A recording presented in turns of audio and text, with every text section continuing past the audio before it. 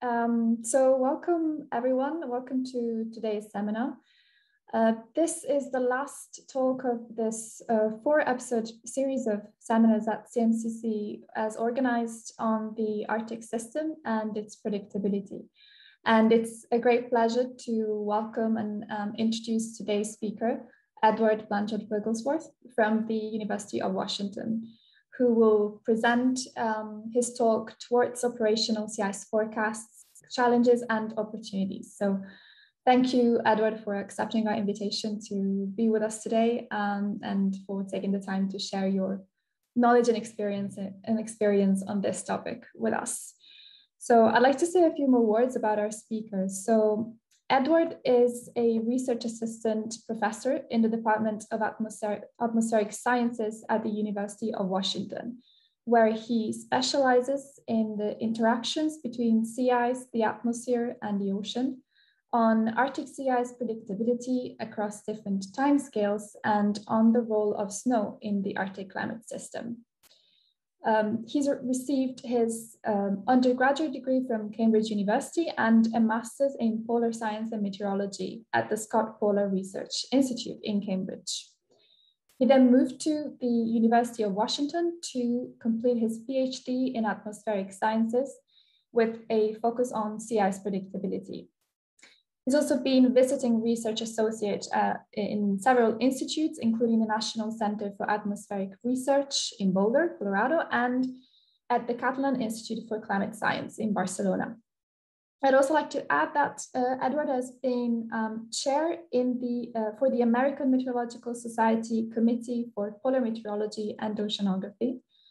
And since 2017, he has been a member of NASA Operation Icebridge, which aims to um, monitor, help monitoring sea ice in polar regions. And last but not least, since 2013, he has been a, a leadership team member of the Sea Ice Prediction Network, which he will tell us more about today. So um, thank you again for being with us. And before I leave the floor to you, I'll just quickly present a few slides on CMCC for those in the audience who may not be familiar with our organization. Okay, so um, CMCC uh, stands for the Euro-Mediterranean Center on Climate Change. And it's a research organization that was established in 2005 to then become a foundation in 2015. The mission of CMCC is to investigate and model our climate system and its interactions to develop uh, science-driven uh, strategy, strategies and policies for climate change adaptation and mitigation and promote sustainable growth. The network is organized, uh, sorry, the center is organized in the form of a network with different locations distributed across the country. So the headquarters are located in Lecce in the south of Italy, which is also home to our supercomputing facilities. Uh, but there's centers also located in Caserta, Sassari in Sardinia, Viterbo, Bologna, Milan, and Venice. And as well as this internal network of locations, CMCC also benefits from external collaborations with other research centers and universities and other institutional partners. So there is a total of 11 research divisions at CMCC, uh, which share different knowledge and skills related to climate science and climate change. So I will not read each one of them now, but if you'd like to find out more, you can uh, check out our website where you can find all the information about CMCC and also about each one of these individual research divisions. So as you can imagine, the um, because of this large number of divisions, the, the range of topics that are covered by um, CMCC researchers is very broad.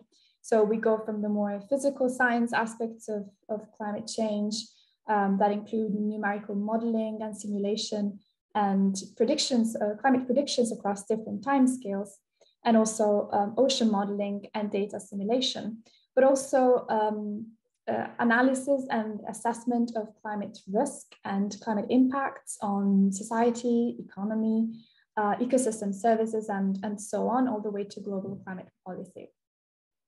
Finally, um, the way CMCC uh, contributes to the wider scientific community happens on many levels. So um, mainly through pub publication of scientific articles for um, international peer-reviewed journals, but also through communication events like the, the webinar you're attending now, and other types of communication and outreach events that um, aim to uh, communicate our science to the general public. And finally, CMCC is also involved in several educational programs, including different um, PhD programs. Okay, so before I conclude this introduction, I just have a couple of reminders for the seminar. So your audio and video have been deactivated by default when you entered the Zoom call um, and will remain deactivated throughout the duration of Edward's talk. But if you need to intervene and ask questions, which you're um, encouraged to do, uh, you can do so in the uh, question and answer session that we'll have at the end of the talk.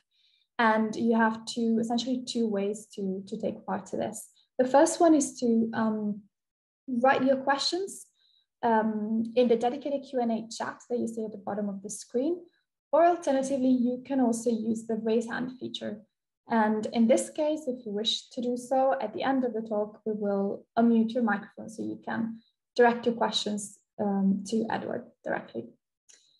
Okay, I'd also like to remind you that this webinar will be recorded and will also be uploaded on, on the CMCC YouTube channel. Um, if you have any questions about this or about the webinar in general, you can direct your queries to webinar at cmcc.it. And don't forget to follow us on social media.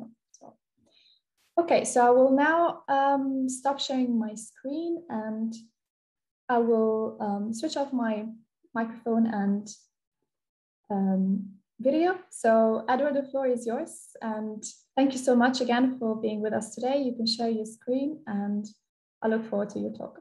Thank you. Um, thank you, Lena, uh, for such a kind introduction. And thank you to CMCC and Stefano for uh, allowing me the opportunity to uh, to speak and, and for the invitation.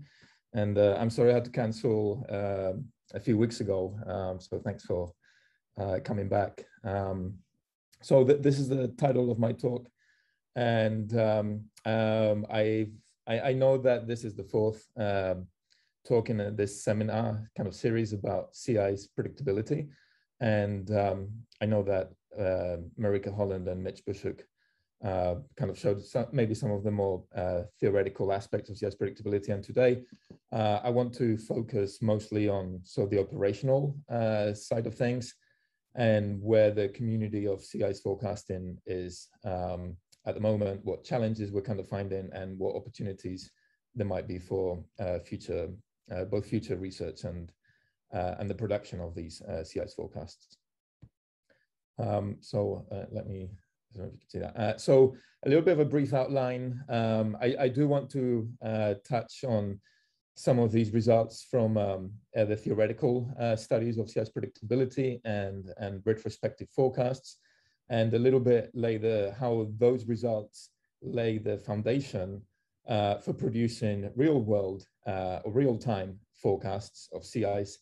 Um, and I'll talk about the, the kind of the main efforts uh, that are going on in sea ice forecasting.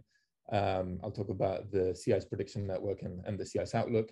Um, I'll describe how much skill these um, efforts are having and how that skill compares with the uh, potential uh, or the theoretical limit of predictability and what might be the, the role of both initial conditions and model physics in, in understanding this difference uh, or the potential gap uh, between um, between skill. Um, ah, okay. Uh, so um, uh, a little bit of um, kind of a, uh, a, one slide summary of results from the studies of um, where we've used perfect models to uh, study the um, theoretical limits of sea ice predictability. And as I said, I'm pretty, I, I know that Marika and Mitch, I think, discussed this um, in uh, in more detail, but one of the main results from these studies is that it, they've been very useful to understand the kind of lead times at which we believe there should be skill of sea ice forecast. And a lot of these studies show that uh, for at least seasonal and in some cases, maybe one year, two years, there should be skill of um, uh, sea ice in terms of initial value predictability. And then you normally have a, a time window or, or, a gap at the annual time scale where there's no skill in forecasts. And then at longer timescales, uh, decadal timescales, you start to have uh, skill from force predictability. This is from radiative forcing. Um, so that that's more like a climate uh, forecast, you know, decades in advance. Um, and we know uh, basically the difference between the two is it's quite um, it's quite important. Uh, the initial value predictability, and I'm using uh, Edward Lorenz's terminology uh, from 50 years ago, um, sort of uh, describing these two um, sources of predictability. Where your initial value, the skill depends on the quality of your initial conditions, and then the model physics. So how well you know the physics that simulates uh, how those initial conditions evolve in time.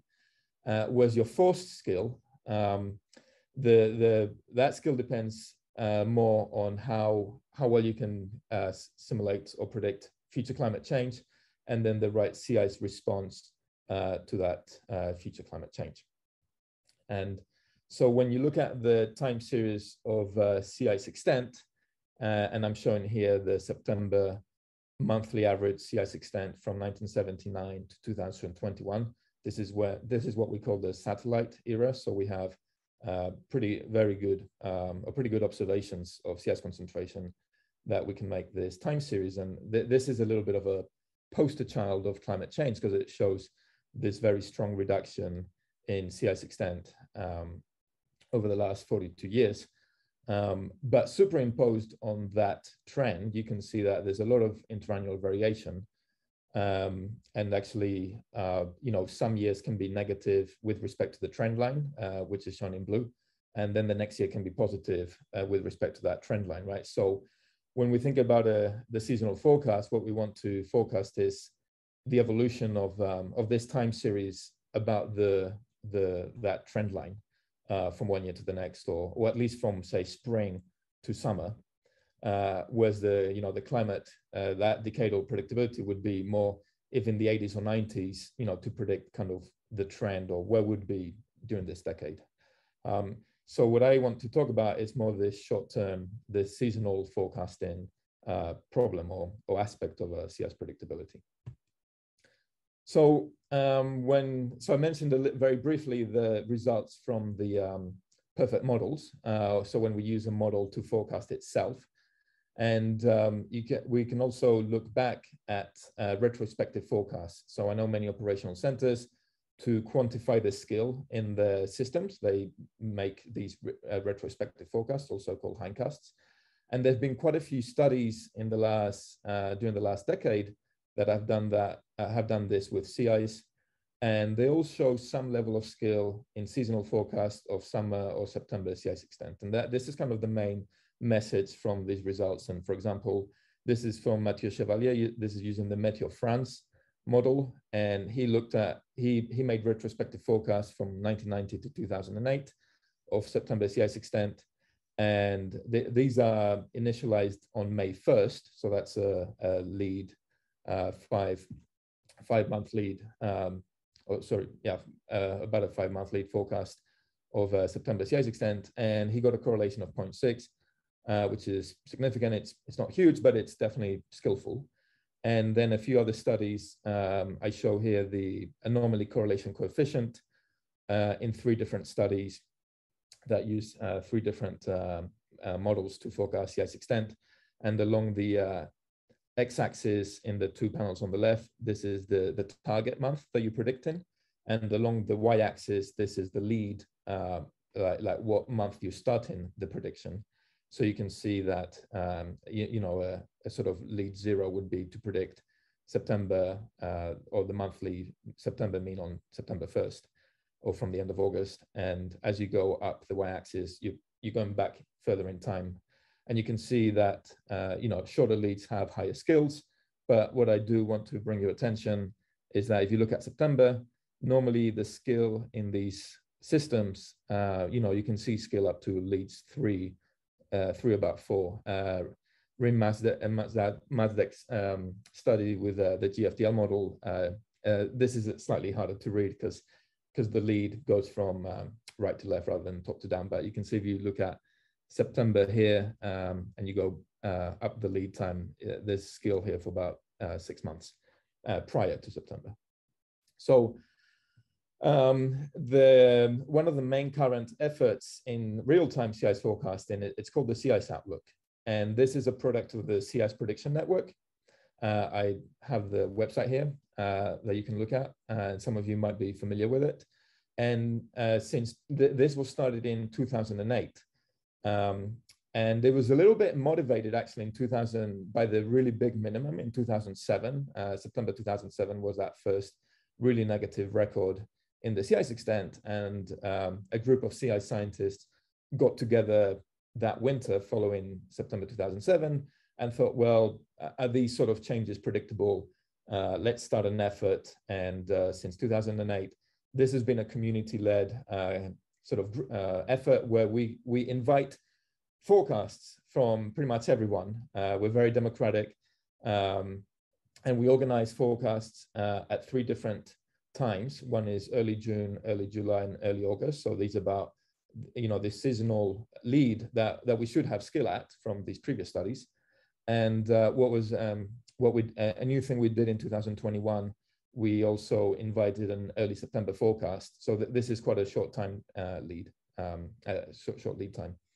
And we have uh, many types of forecasts. We have uh, from dynamical models, uh, from statistical, uh, what we call heuristic, and also and even public polls. Um, uh, and and these have been the traditional forecast has been just September extent, so that would be one number per per forecast of uh, you know the, the extent in the forecast. And but we've also included over the last few years spatial forecasts, and, and I'll show that a bit later because there's much recognition from say stakeholders that well one number, you know, for the whole Arctic, it's a bit simple and, and a lot of stakeholders want to have more detailed regional information.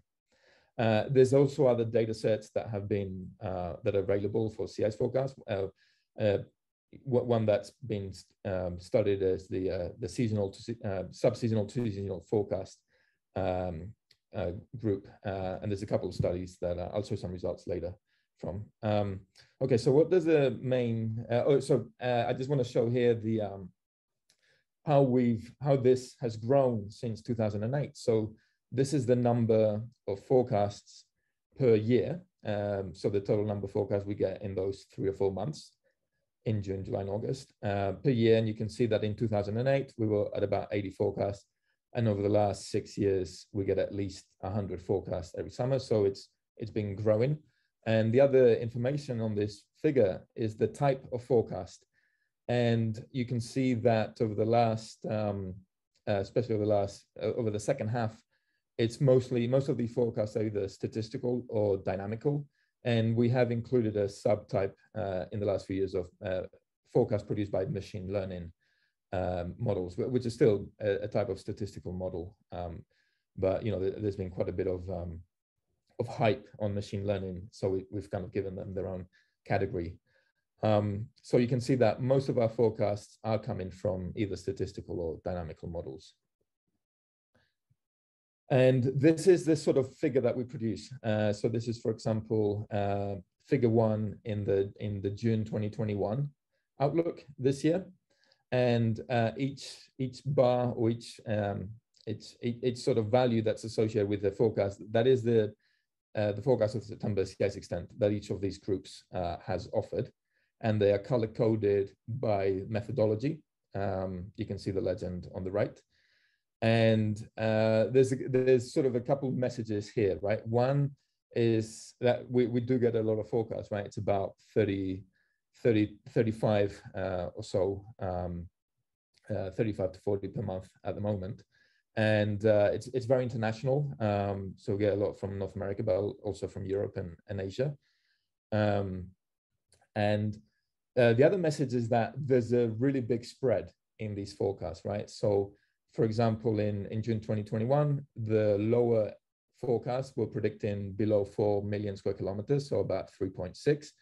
Uh, which would have been the second lowest on record. And then the highest ones are above 5 million square kilometers, uh, which would have been one of the higher values in the last 15 or, or 13 years. Um, and um, and you can also see that there doesn't seem, at least in this year, there's there's no clustering by methodology, right? There's kind of a mix of colors uh, the green, um, and the salmon. And so, um, so we see that you know this spread across forecast is is common to single methodologies of the forecast too. Now, one of the issues with this spread is that if I uh, I show you here at the bottom, this is uh, about half a million square kilometers is the the standard deviation of, C, of September sea ice extent when you detrend the forecast, right?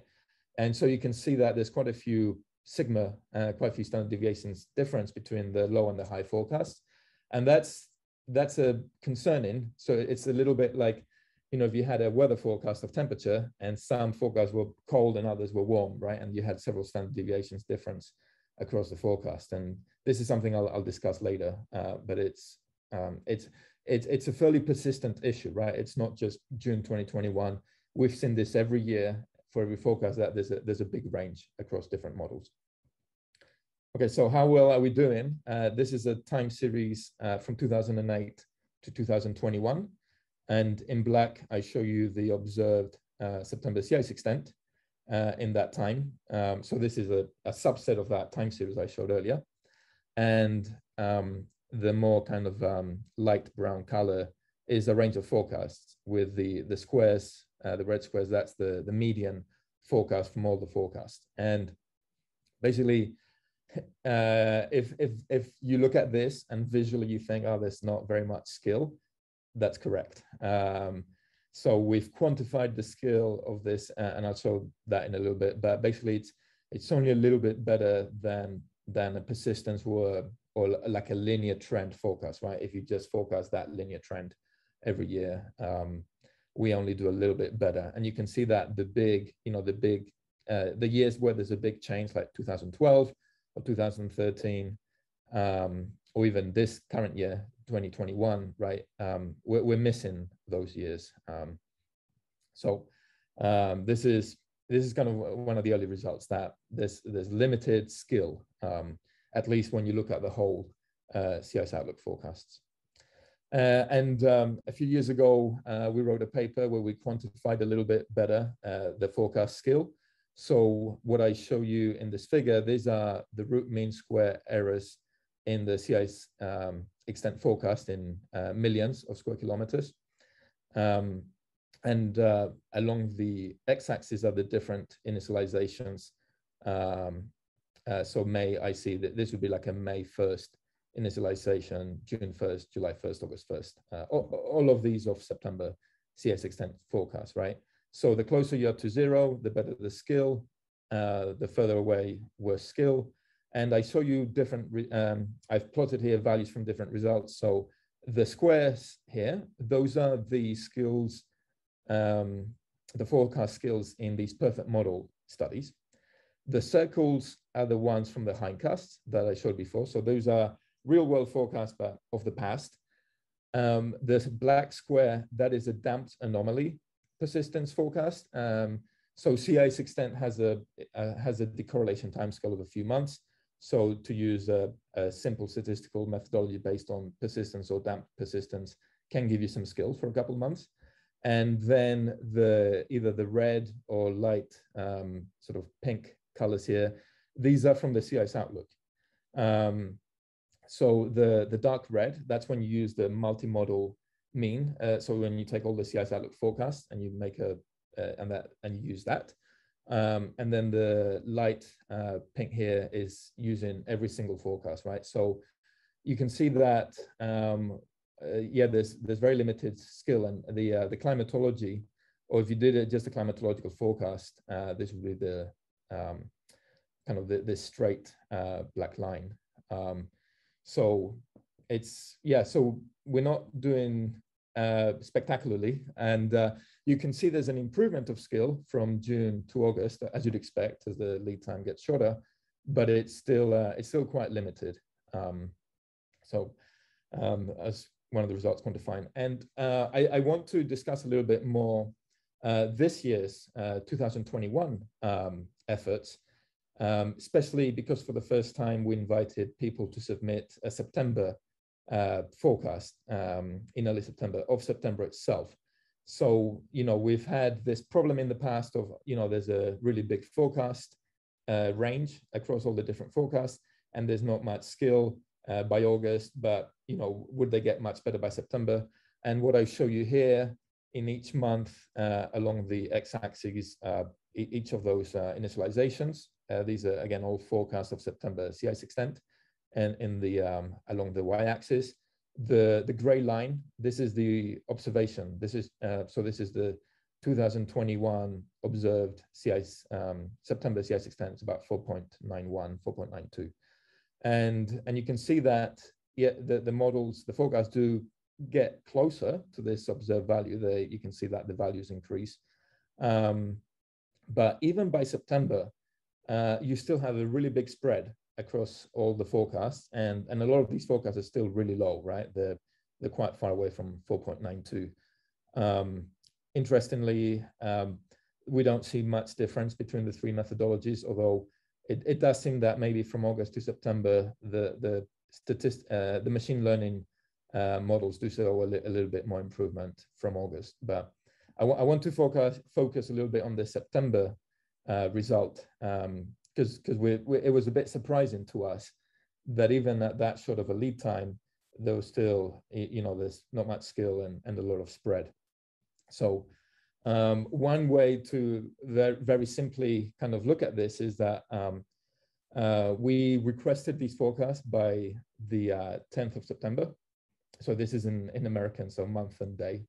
Um, so what I've just done here, it's a, it's a very simple sort of uh, projection. And what I've done is if you take the ice extent on August 1st, uh, sorry, August 31st, 2021, uh, which is about 5.2 million square kilometers, and you just uh, to that number, you just add all the historical tendencies uh, from the last uh, 35 years of ice extent. Um, so the, these are sort of past evolutions throughout the month of September, just added to, to the observed value on August 31st. And you get this sort of plume of, uh, of potential trajectories, right? The, this is what we, what we could consider, given the past, like analogs, sort of uh, an expected September value if if you know what where you were on August 31st, and and these are these would be sort of the expected uh, family of or, or grouping of possible values, and you go from about 4.8 to 5.4, and and most of them, this is the interquartile range. They they group in the low 5 million square kilometers, right? So on, on August 31st, we would have known, okay, this is sort of my range of possible values. Um, and uh, and these are here the, the forecasts that were uh, submitted in September, right? So a lot of them are just, um, you, know, really far out from sort of any historical um, expectation, right? And so we don't really understand why the contributions, why the forecasts are, are doing this, um, even at such a short lead time. And this is definitely both a challenge and, and an opportunity and understanding uh, this better.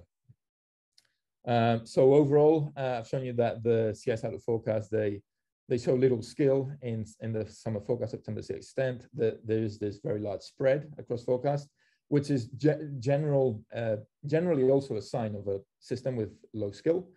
And, um, and that even at these short lead times, the, these problems seem to persist. Um, so I did mention that we have gone beyond um, uh, just ice extent. Um, so uh, one of the things we forecast is ice probability. And here I'm show you the um, uh, ice probability is simply a probabilistic forecast whether a grid cell has ice in September or doesn't have ice. And if you run an ensemble, this is just a probability across that uh, ensemble. Um, and uh, so the, these are the kind of uh, uh, spatial figures that um, different contributions uh, contributors send us. And this is from Ju June 2021. And um, in black, I show you the, um, the observed 2021 um, ice edge. And uh, this, is, this is quite relevant for um, stakeholders, for example, for shipping companies, and I show you shipping tracks in the bottom right. So uh, for a lot of people that operate in the Arctic to know, for example, that the Northeast Passage uh, along the Russian coastline or the Northwest Passage along the Canadian and Alaskan coastline, to know if there's uh, open ocean or sea ice is important. And so these sort of forecasts uh, are motivated a little bit by that. And, and you can see that, um, you know, there's a little bit of spread in those forecasts, as you might expect, right? If, if the different models give you a spread in total ice extent, then this, the spatial forecast is also gonna uh, show some spread. Um, and, uh, and I show you that here. And by August, there was a little bit of improvement, uh, but it's, it's somewhat limited. Uh, and one of the issues, for example, is that if you go back to June 2021, um, and you look at the multi-model mean forecast here, all the forecasts expected open ocean along the Russian coastline. But if you look at the black uh, contours here, there was actually, the Northeast Passage here was actually blocked by sea ice. Um, so, so that was missed in June, although if you look at August, some of the models, for example, CanSIPS version two, did forecast sea ice in that region, and so did um, Nicocsan or, or the RASM. Um, but other other models were just, you know, uh, uh, we're not forecasting that at all. Um, we've uh, we you can quantify the scale of these forecasts by the area weighted average Brier score, and the, the Brier score is a very simple metric where you take the uh, the difference between the forecasted probability and the observed value, and, and you square it. Um, and the, the observation is either zero or one, and the, the probability is you know number between zero and one. And the closer this um, metric is to zero, the better skill you have. Uh, so this is um, from, from those previous figures I showed. These are the skill across the different models. So there's quite a bit of range. Uh, I have introduced uh, as a benchmark the skill if you use the last um, sort of uh, 14 years to make a climatological forecast, and that's shown in this panel on the right. And uh, the scale of that forecast is this dashed black line. So, you know, again, uh, a few of the models uh, are not beating this climatological benchmark. Uh, but if you look at the multi-model mean, uh, it does do better than the benchmark. And, and this is a feature we've seen in past years, right? That individual models don't seem to be, be doing terribly well, but um, the multi-model mean does, does have skill. Right, so uh, I do briefly want to show the skill in some of the uh, other uh, models or other groups. So this is from the S2S uh, prediction network. Um, this is now a lead time in, in days rather than months. And um, uh, th this, uh, this is the spatial probability score, which is similar to the Brier score I showed earlier. Um, but the main take home message is that this is looking at the skill in five different models compared to climatology, uh, which is in the red, uh, sorry, in the black line here. And, uh, and again, the, these sort of, uh, the, this other group of models show uh, similar uh, aspects that they, they have little skill um, at, at, at, the regional um, scales, but the, there is a lot of model spread, right? So the ECMWF model does pretty well. It has skill to 40 days, a month and a half uh, whereas other models, um, even at lead time zero, uh, they have less skill than the climatology. And uh, this is something that we've also shown. Um, this is a study by, uh, sorry, uh, McGrath et al. This is using the same um, group of models as the previous slide, the S2S. And um, uh, this is the root mean square errors of the total um, sea ice forecast in the, the Pan-Arctic and uh, and I, am showing you here rather than a climatology benchmark, the damped anomaly. So if you just if you just take the um, the raw forecasts, the absolute forecast of um, sea extent, you can see that the models are doing worse than persistence. Um, but if you look at the um, the anomaly forecast, and sorry, I forgot to label this. Um, the bottom left is when you just look at the the uh, you uh, you look at the uh, the skill in the anomalies. So you take away the the model climatology, um, and you look at the skill in the anomaly forecast, and you can see that they they do better, but it's still hard to beat this damp persistence. Although the, the again the ECMWF model does quite well, and a little bit to develop some kind of physical intuition. I, I want to show you uh, on the right panel uh, in 2012, that was the, the record low year, and we there was a period in August uh, that had very fast loss of sea ice extent. Um, and this is from one region in the Arctic, uh, the East Siberian Chukchi So this is along East Siberia and uh, north of the Bering and Alaska. And in black is the observed evolution of sea ice. Uh, there's two different uh, observational products here, but um, uh, you, you just need to focus on on, on one or, or, the other. But you can see that they basically they both agree showing this very rapid loss of sea ice extent. And then uh, these forecasts, um, how well they did. And you can see that um, some of them, you know, the, the, the dots show the initialization. And you can see that quite often, even just the initialization, the, there's already an error in the forecast, right? And then the evolution, um, uh, this model, the Meteo France model, doesn't quite get that loss in sea ice. The ECMWF at the beginning doesn't. So these plumes, these forecasts from before the loss event, they kind of go, um, the, the loss is nothing special. It's kind of climatological, but the forecasts that start maybe halfway through this period, that you, you see this faster loss. So there is a bit of skill there. And, and the UK Met Office um, seems to do quite well for this event actually, but it does have too much loss maybe before, uh, but at least the initialization is, is closer to observations. So, um, so a, uh, a, little bit about why is there this gap in, in forecast skill, right? So we have results from the perfect models, and they also they all say you should have skill at seasonal timescales, um, and then we're making these real world forecasts in real time, and and we're struggling to get much skill. Um, and this was something documented by Mitch Bushuk, and I show you here the, the anomaly correlation coefficient of uh, uh, forecast in the perfect model. And this is a lead time of three years. And then on the right panel, using the same model to forecast the real world. Um, so you can, you can compare these uh, panels directly from um, left to right. and you can see how much uh, less skill there is. And so this might be, this is an issue, right, that there's this gap uh, or this difference between the skill we sort of expect and the skill we're finding. Okay, so uh, we know that um, the, the uncertainty in the forecast is from unknown initial conditions or from imperfect model physics. Um, so you could have you could have a good model, a model with good physics, but poor observations or poor initial conditions, uh, and that would lead to a, a poor forecast. Uh, or you could have the reverse. You could have really good initial conditions or observations, but poor physics. Um, and then you can obviously have a combination of both.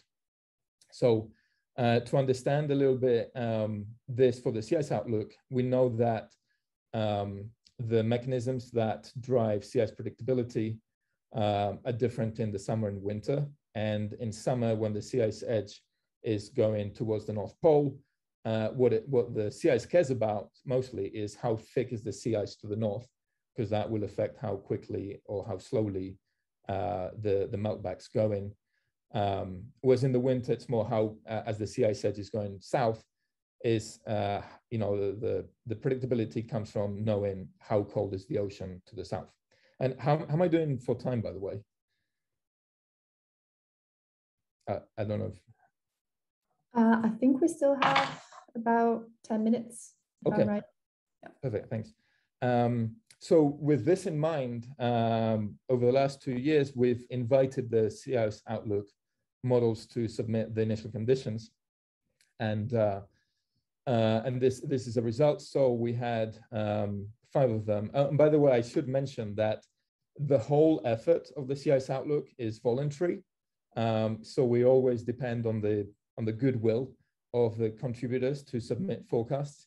So, you know, we're always playing the game of, you know, because we want to know so much more about these forecasts, but we know that people have limited time and resources.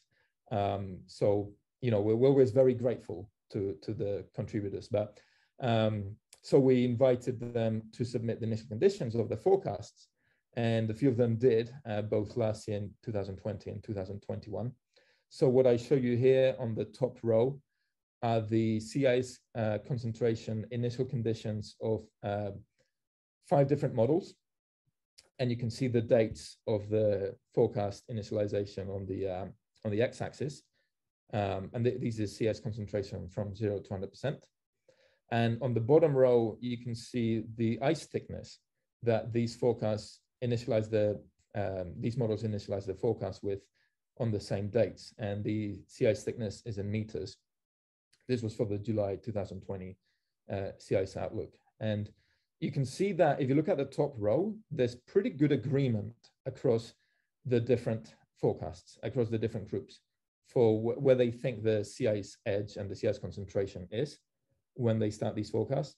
But if you look at ice thickness on the bottom row, uh, some models are quite thick um, and other models are quite thin. And this, this might be quite important, right? If, if, a, if a model starts with either thick or thin sea ice for the summer forecast, because we, we believe that a lot of the skill for the summer forecast comes from the thickness. And uh, so this was in July. Uh, this is in August, uh, a month later, and you can see uh, you can see a similar tendency um, uh, again where they agree in concentration. And th this model here, um, it does look different, but the initialization was a month earlier, uh, so bear that in mind. And when we calculated, um, when, we aligned the forecast with the right uh, day of initialization, or if you if you look at the previous figures or the data from the previous figures, and you you uh, plot it with the day of initialization of each model to look at a consistent comparison. Um, if you calculate the ice volume, so the ice volume, you just integrate ice concentration and ice thickness, so total ice that the models have to start with, you can see there is really big spread across those um, five models, right? So, uh, you know, and, and we, we don't really know the observed value because um, we don't have thickness measurements in the summer. We have them in the winter from satellites, but not in the summer. And I know this is, well, I think this is something Mitch talked about, uh, this problem that to make forecasts in the summer, we would really, we, you know, to know the sea ice thickness in the summer would be really important. Um, but we, you know, the, the observations are not quite there yet. But uh, you can just see that this, this really big spread across the initial conditions. And um, when you look at a scatter plot, when you compare uh, how much sea ice uh, they had to initialize, which is on, along the x-axis, and what the prediction was that each of those groups made. And, and th this is just five models, so it's a very small sample size, but you can see that there's, um, there seems to be a relationship, uh, not surprisingly, that the forecasts that um, the lower forecasts, so this, these are, uh, for example, GFDL had a forecast of 3.2 uh, million square kilometers in early July. Uh, that was the one that had less sea ice to in the initialization.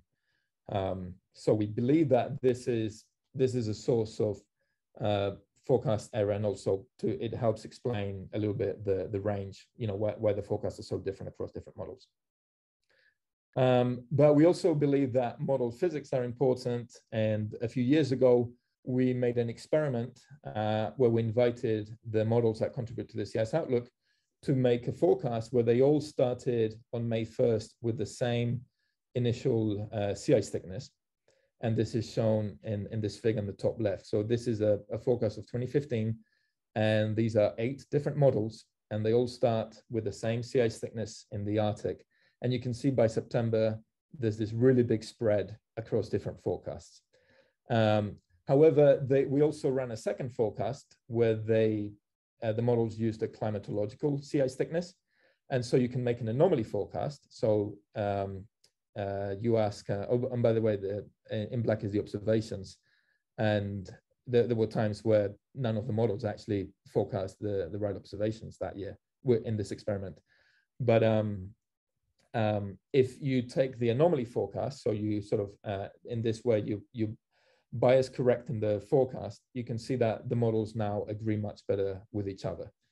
And uh, you can quantify this um, with the, uh, the spread across the different forecasts. Uh, so if you look at uh, the top left panel uh, and you calculate the standard deviation across all those forecasts, um, you get the red line and in the bottom left, this red line becomes a light red line. So, so the uncertainty goes down by about an order of magnitude from about 1 million square kilometers to 0.1. Uh, the black lines just the, that's just the kind of the, the growth in each ensemble. So that's just kind of irreducible um, kind of uh, error in the forecast from from chaos, uh, right? From um, from the butterfly effect. Um, and um, but so so this uh, the result from this is, is that it's it's important knowing how to bias correct uh, the forecasts of, of sea ice. Uh, and then finally, um, a little bit maybe of a, uh, you know, something uh, that Mitch Bushuk and myself have been thinking about is going back to those results from the perfect models, uh, since we've used them a little bit as motivation for these uh, seasonal forecasts, is to think, uh, are they are they biased in how predictable they are? And we did a, a study a couple of years ago uh, where we looked at CMIP 5 and some other GCMs that have been used to study sea ice predictability. And we found that they are more persistent than observations, right? So uh, what I show you on the in, in this figure, uh, each value is the um, uh, for model is how uh, the year-to-year correlation in the September sea ice extent and also in the March sea ice extent. So summer to summer along the y-axis and winter to winter along the x-axis. So the higher the value, uh, the more persistent that model is, right? So, so if you think about that time series of ice extent, it means that it, it sort of has more low frequency. Um, and generally that, generally that means higher predictability. But if you plot the observations, uh, which is this uh, data point here, uh, those, those persistence values um, are less strong. So, you know, it's, it's maybe some indication that maybe also the GCMs they think there's too much predictability compared to, to the real world. Um, so I want to show, um, just leave this up. Um, and um, maybe I, I, might be, in the interest of time, I'll, I'll let you read it and uh, I'll open the, the floor for questions. So uh, thanks so much for listening. Thank you. Uh, thank you, Ed, for, this uh, presentation. It was really interesting. And you gave us a very good overview of, of the challenges um, so I'll I'll start the Q and A session. I see that there's a there's a question in the chat from um, Yulia. Uh, she's asking, how does um, internal variability contribute to total uncertainty in ice extent projections? Um, so um, that that's uh, so uh, that depends a little bit on the time scale. Um, so for short time scales, like for a seasonal forecast, um, internal variability is is a really big source of sort of a forecast error, right? And um, for example, if uh, for these forecasts that we start, say in June of September, um, we believe that the skill comes from, say, sea ice thickness, or maybe the ocean, because because they change pretty slowly.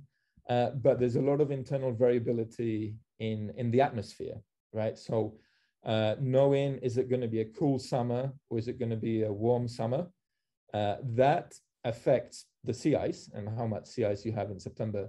And there doesn't seem to be much evidence that there's any skill or, or much skill of forecasting uh, summer, the average summer weather at seasonal timescales. Um, so internal variability plays a, a really big role. And I, I, I want to, that's a little bit, I, I, know I went a little bit fast, uh, but in this, um, in this slide, uh, you can think of internal variability as quantified by the chaotic error growth. Um, uh, so this black time series, uh, and this is in, sorry, uh, not quite, as I think this is in square meters, but if you, this is basically, you can think of this as, this is 1 million square kilometers. Um, sorry about the units here. Um, so it's up to almost half a million square kilometers uh, from a May 1st forecast. So basically, um, how wide each of these forecasts, so if you look at each colored uh, time series, that's each individual model. So how big that ensemble becomes, um, that is driven by this internal variability uh, that you can't forecast uh, on May 1st, right? It's, it's, it's just chaotic error growth. So it's it's it's it's it's you know internal variability is what's limiting your skill um, uh, for these forecasts. Uh, for the decadal uh, forecast, so you know knowing what might be the ice in 2040, 2050, uh, we believe the internal variability should have a much smaller contribution, right? And and the um, uh, the answer to that question of you know what is what's going to be the average ice in 10 or 20 years from now. Uh, that should be more a result of um, uh, the radiative forcing, right? So climate change, uh, how much climate change we expect, and also what the sensitivity of ice to that climate change. So I, I don't know if uh, that answered your question. Sorry, it's kind of a long answer, but it, it does depend a little bit the the timescales uh, that you're thinking about. Okay, thank you. Thank you so much. We have more questions coming. There's a question from Paul Barrett, um, who's asking, where does one draw the line between a skill that is not acceptable and one that it that is, or between when models are in agreement and when they're not? Um, that's a really good question and um, and and a hard question. Um, so we've been the how this whole effort of the Sea Ice Outlook started uh, it was mostly because of the science behind to learn uh, about is that can we have skill at these time scales um, what are the physics that might drive these forecasts? So we were very careful. I, I wasn't part of this in 2008 I, I, I became part of the team in 2013 but i remember being told that in 2008 they were very careful not to call this an operational forecast right? This is research. Um, so we, we don't use the word operational, uh, maybe prefer real time um, forecasts. Um, but we do know that some people, some stakeholders look at our website and maybe use some of that information. Um, so I think the answer to that question depends. Uh, it depends on the stakeholder. It depends a little bit also on on the uh, on the purpose of why you're making that forecast. And and maybe I'm uh, maybe I'm giving you like a politician's answer, but um, you know we um, you know the way we see this effort is um, you know we're, we're providing a like a forum for the community to to share this and and we you know we have annual webinars and and so we've developed quite a network where you know different contributions will or, or different groups will talk to each other. And so it's you know i think we're learning a lot even as you say yeah the skill is quite limited. So um you know that that might be a little disappointing but um but uh, but you know that you have to start somewhere. And and uh, i think we're learning a lot about how these forecasts you, you know um what, what's limiting them and and how we might improve them. Thank you, and thank you, Paul, for your question. Um, the next question is from Konstantin um, Ardilus, sorry about my pronunciation, um, who's saying, um, excellent talk. And he's asking if you take into account the seasonal forecasts from the Copernicus multi-model for the Sea Ice outlook. So that includes includes ECMWF, UK Met Office, Meteo France, CMCC, and so on. Um, not not myself individually, but I I think um, a lot of those focus, a lot of those models you just mentioned are part of the S2S. Um, so the, uh, those are the results. Um, I know that in um, uh, Zampieri et al., um, uh, you know, they, they uh, I think there's an overlap between the Copernicus and, and the S2S models.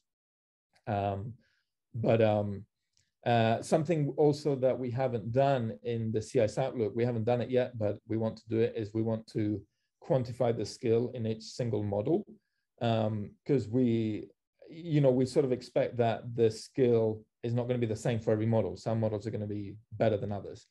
And um, um, but we haven't documented that yet. And also we don't make a weight uh, a skill weighted uh, multi-model forecast right? So if you know that some models are better than other models you can weigh those forecasts more than the other forecasts, like give them give them a bigger weight when you make a multi-model forecast, and that should have better skill. Uh, so we haven't done that yet. Um, but uh, yeah, but I'd love I'd love to learn more about to the Copernicus effort. So maybe we can chat offline uh, more later. Okay, thank you. So um, we have about five minutes left. So if there's more questions coming, I think we still have time. Um, in the meantime, maybe I can ask you a question, and um, it's more of a curiosity. I was wondering, so you showed us quite early in your presentation the plot where you were showing um, observed sea ice extent in September against the predictions. And the year, yes, this one. So the year 2012 is, is obviously very striking. And, and then I think you showed you showed us in, a, in another plot that summer of 2012. So if I remember um, well, that's when we had the um, cyclone in, in the Arctic. Yes. So I was wondering, um, is the nature of the event that is causing this ice anomaly um, important in how the, the, the models perform? Uh, that, that's a really good question, right? And when you think about these extreme years, um, there's sort of um, you can think of you can think of both uh, predictable extreme years and unpredictable extreme years. And, and by that, I mean that some extreme years or some extreme Septembers might be because um, there was very thin sea ice in the spring, right? Or a lot of the sea ice in the winter got exported out of the Arctic because of the Arctic Oscillation or the winds. And you went into spring with a very thin sea ice cover. And, and because of that, you ended up with very little sea ice in September. And, and that would be predictable in, in early summer or late spring because because you would know or you should know that there's very little sea ice uh, or thin sea ice, right? So um, in a way that'd be predictable. And then you can have the opposite where maybe your sea ice is relatively sort of normal or close to climatology in the spring, and you have a very extreme summer atmosphere, right? Like very warm uh, year or, or very cold. Um, and that most likely would not be predictable at the seasonal timescales because uh, we don't think, or, or, there isn't really any evidence or much evidence that the atmosphere um, is is predictable at these monthly timescales, um, at least in the Arctic. Um, and for 2012, um, you know, you can see that none of uh, none of the forecasts, right? Like, I mean, the the forecast was the same as the previous year, as 2011 here, and and yeah, I think uh, what happened in 2012 is that the the atmospheric conditions were pretty extreme that summer. Now there has been quite a bit of uh, discussion about the cyclone, that really big cyclone in August um, that led to that very fast loss of sea ice extent, which I showed later in that regional uh, plot. Um, so yeah, so so there has been uh, like uh, yeah, you know, some people have said, oh, well, you know, that was not predictable so you couldn't predict that there was this really big cyclone that would lead to this extreme sea ice loss. Um, but there, there, there is there have been some other studies that have shown that even without the sea ice cyclone, um, 2012 would have been a really low year. Um, so you know it's it's still uh, up some somewhat of a debate. Um, but um, yeah, yeah, these, these are exactly kind of the um, um, sort of the, you know the things that we're thinking about in the community. Uh, but I I do know I'm pretty sure that um, uh, Mitch in his talk showed a little bit that in in his um, forecasting system that uh, these extreme years uh, they do have skill like a month before or two months before maybe not three or four months before but you know i think the answer is a little bit of both right that the, there, there are some sort of very extreme weather events like a strong cyclone but uh, there's also a precondition in you know of like thinner sea ice from from the spring but it's yeah it's it's um again it's it's a it's a good and hard question thank you that's, that's very interesting uh, we have one more question from Simona Masina, um, head of the Ocean Modeling and Data Assimilation Division here at CMCC. She's, um, she says, uh, thank you, excellent talk. And she's asking if you can comment on the lack of thickness observations in summer. So why this happens and if there's any plan, for example, satellite missions or other yeah. plan to um, yeah, so right now um, there's a couple uh, satellites that measure, they don't measure sea ice thickness directly, they measure the freeboard, uh, so how far above the sea level the top of the sea ice is. Uh, so there's Cryosat, uh, which is the European, um, and that's a radar satellite. And then there's ICESat-2, and that's the American, that's a, a laser or LiDAR satellite. Um, and they, they give us uh, pretty decent estimates of sea ice thickness, uh, but only when the surface of the sea ice is, is below um, melting, like when, when it's frozen. And there's a problem with the, um, with the retrieval with the satellite uh, how they observe that surface when it's melting. So as soon as you go into the melt season uh, in like June, in, in sort of mid-May, late May, so once once the sea ice or, or the snow on the sea ice starts to melt, uh, the quality of the the retrievals from the satellite deteriorates. And uh, this is not uh, I'm not a sort of observationalist or an expert in the in the actual satellite retrievals, but speaking to colleagues that are, it's it's a problem that you know we, we've had for many years and and that I know quite a few people are working on. Uh, but maybe I can show you. Um, I, I, had some extra slides here at the end about sea ice thickness. Um, so um, uh, this is, for example, um, an, an, estimate of the sea ice thickness anomaly in April 20,000 uh, in April 2017. Uh, so this is during the time period of the end the end of the winter season when we still have uh, decent uh, ice thickness observations or from these satellites. And, and there's still a little bit of uncertainty, right? So the top row, these are three different algorithms. So from three different um, uh, groups that, um, that use the satellite data and then apply their own algorithms. And you can see that there is some consistency, uh, you know, this kind of uh, negative anomalies north of the Canadian Arctic, archipelago and positive anomalies sort of along uh, the kind of 180 or the kind of this region just um, uh, uh, I guess I guess well uh, along the 180 uh, east uh, longitude um, of the North Pole here, but the the magnitudes are a little different. so there is you know still even in the cold season some uncertainty, but yeah, so so that is a little bit of a holy grail of both the observations and the forecasting community that we know if if we could have uh, like a spatial thickness, sea ice thickness observations in in like June uh, or early July, that we we expect that our skill would be quite a bit better, um, but we you know we, we don't have those um, observations yet. But I, I know it's it's like an active area of research.